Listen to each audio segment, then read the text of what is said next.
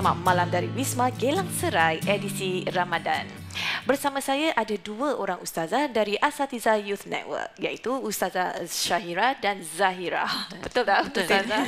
Selamat datang ke On Cue by Screen Box. Berbagai amalan yang boleh dilakukan khusus pada bulan Ramadan ni yang amat kita kita cuba kejarkan lah eh, ganjaran Ramadan ya. Mungkin Ustazah boleh terangkan uh, tentang nuzul Quran eh. Uh, bilakah hari uh, ataupun yang dikatakan nuzul Quran ini dan apakah sebenarnya significance ataupun kebesaran malam ini? Okay, uh, Nuzul Quran uh, jatuh pada 17 Ramadan bersamaan 22 Mei um, pada kalender uh, kalender biasalah.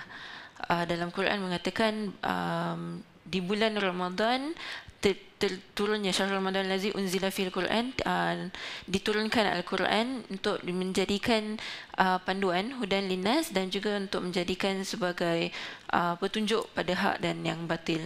Jadi pada 17 Ramadan ni um, kita tahu bahawa um, Quran diturunkan dan juga sebenarnya malam nuzul Quran dia tiada, tiada ibadah khusus seperti maksudnya kena khatam sampai habis ataupun uh, kena okay. melakukan um, solat beberapa rakaat tapi uh, ia lebih untuk mengetahui bahawa Quran ini diturunkan uh, sebagai panduan bukan saja untuk dibaca dan dihafal tapi juga untuk um, mengenal erti um, Penghayatan erti penghayatan erti Quran. Al-Quran tersebut. Apakah mungkin uh, panduan atau tips bagi ustazah untuk berikan pada uh, uh, golongan milenial yang selalu mungkin balik lewat atau kerja malam atau berkena OT kata Ya. orang kan ataupun uh, masih dalam perjalanan nak mengambil anak dari childcare macam mana ni semua Um, bagi saya tips um, uh, salah satunya bukan kita untuk uh, mengkhatamkan Al-Quran.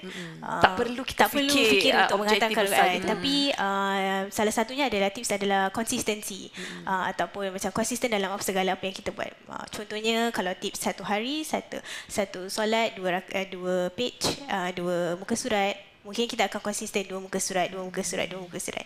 Uh, saya rasa ibadah yang lebih penting adalah uh, ibadah yang selalu berterusan kita melakukannya dengan jumlah yang sama atau lebih uh, daripada kita mengejarkan sesuatu yang perkara dengan tadi kita um, cakapkan uh, menghatamkan Al-Quran.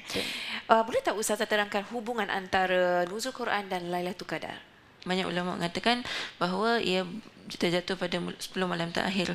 Cuma hubungan antara mungkin satu hubungan antara nuzul Quran dan juga Lailatul Qadar dua-duanya terjatuh pada bulan Ramadan. Ya, dan betul. juga um, uh, sebab nuzul Quran tu signifikannya sangat besar dengan Quran, maka sen- uh, ibadah membaca Al-Quran tu sebenarnya boleh dibawa terus macam saya kata tadi uh, daripada nak fokus nak khatamkan Oh, ya. Quran pada nuzul Quran tu apa kata kita baca terus sampai ke Lailatul Qadar. Belum tahu kita dapat melakukan ibadah seperti seribu bulan. Jadi Betul. tu pasal kita digalakkan untuk mengejar ah eh, orang berpusu-pusu pada awal Ramadan untuk ke masjid, Oh, ya. Penuh kemudian pula, eh, penuh. masjid ah. Ah, Lepas tu Berkurang makin sikit, kan. makin sikit, makin sikit. Lepas tu uh, apa yang saya uh, from my observation pun uh, malam 10 yang sepatutnya masjid ramai dan meriah itu makin kurang softnya. Ha. Ya. Jadi ramai so- di bazar pula Ya. kerana sibuk mengejar uh, persiapan hari Ah, raya pula itulah. kan Tu sepatutnya malam yang 10 malam awal tu suasana Balik, sepatutnya eh? ah malam 10 terakhir Mungkin itulah. sesuatu yang boleh kita fikirkan Fikir. kan eh. Jadi bagi millennials ni memang mereka sibuk dengan kerjaya, mungkin anak-anak masih kecil.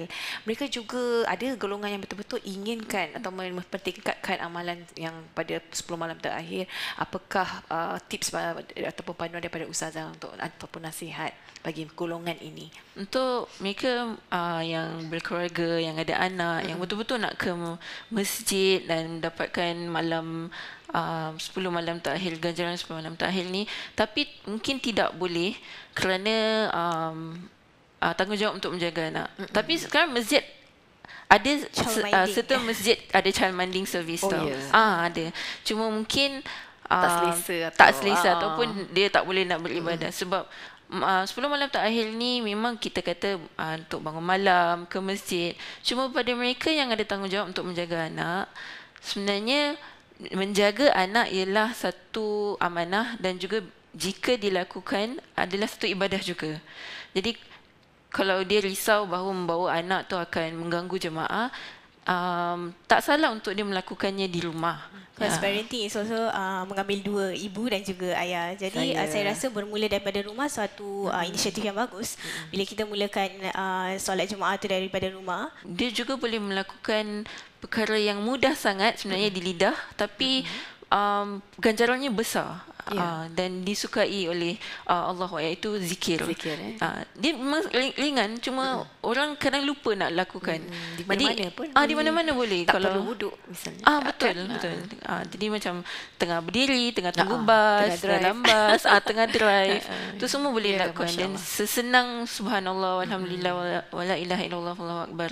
So um ataupun sekarang bulan Ramadan uh, zikir yang sangat digalakkan ialah Allahumma innaka afuwan tuhibbul afwa fa'fu anna. Jadi banyakkan berzikir untuk saya millennial, uh, bila kita fokus on millennials, uh, kita banyak fokus dekat menggunakan gadget kan. Kita Mm, selalu oh, ya. 24 jam dengan handphone, Social media. social media.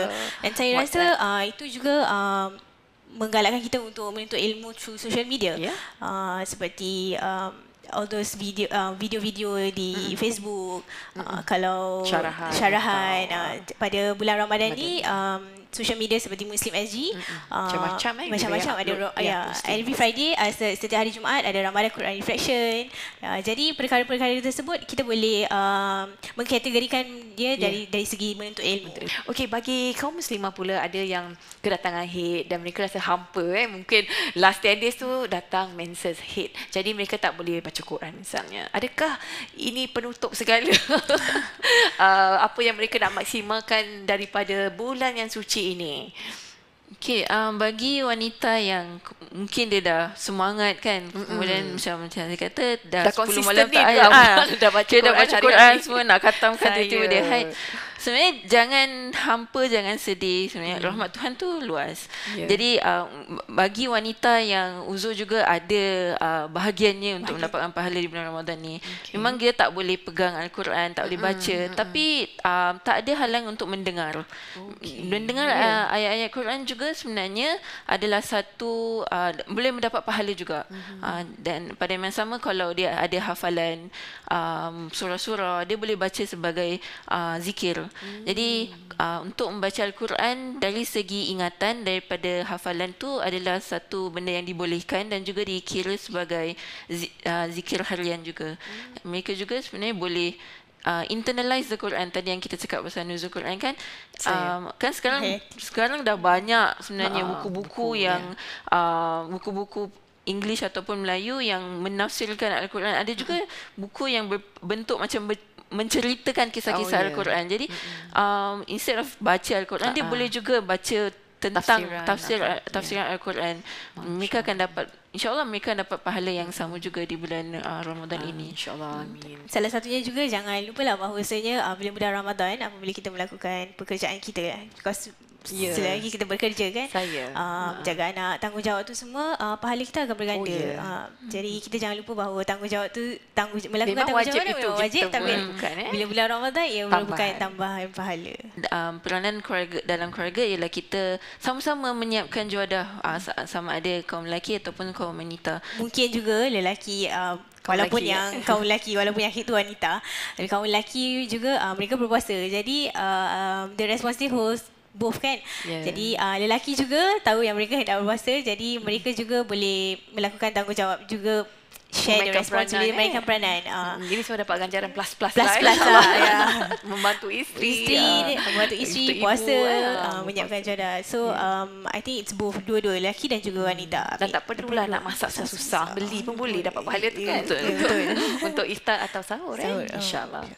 Ah, itu adalah nasihat yang baik. Kadang-kadang kita ni terlampau uh, pressurized kerana kita fikir macam tadi Ustazah cakap terawih itu hanyalah sunat. Tapi yang wajib ya maksudnya yang solat lima waktu, Waktu, kita jangan betul. tinggalkan Jangan. dan juga kita tambahkan dengan terawih kalau kita ada, ada kemampuan lah Ya, yang ya. terdaya.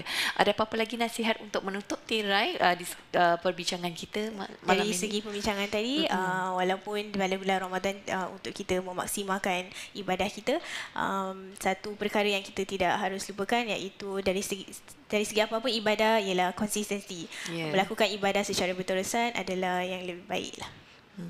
Dan juga um, mungkin bagi mereka yang tak dapat ke masjid, tak dapat bersama-sama macam yang ya, tak dapat khatam Quran dan sebagainya jangan sedih jangan rasa cemburu Atau rasa gagal. Ah, rasa bahawa Ramadan ni kita dah Ah, ah, gagal. stres, Ah, eh. Betul. Rahmat Tuhan tu luas. Saya, Jadi kita insyaAllah. boleh usahakan secara yang mana kita mampu. Ya. Saya rasa apa yang penting mungkin kita cuba memperbaiki ki- diri kita dari uh, Ah. Ramadan yang lepas. Betul. Uh, kita pertingkatkan apa amalan yang boleh secara konsisten. InsyaAllah. Terima kasih Ustazah Syahira, Ustazah Zahira kerana bersama kami malam ini dengan panduan dan juga nasihat yang begitu baik sekali eh untuk kami semua.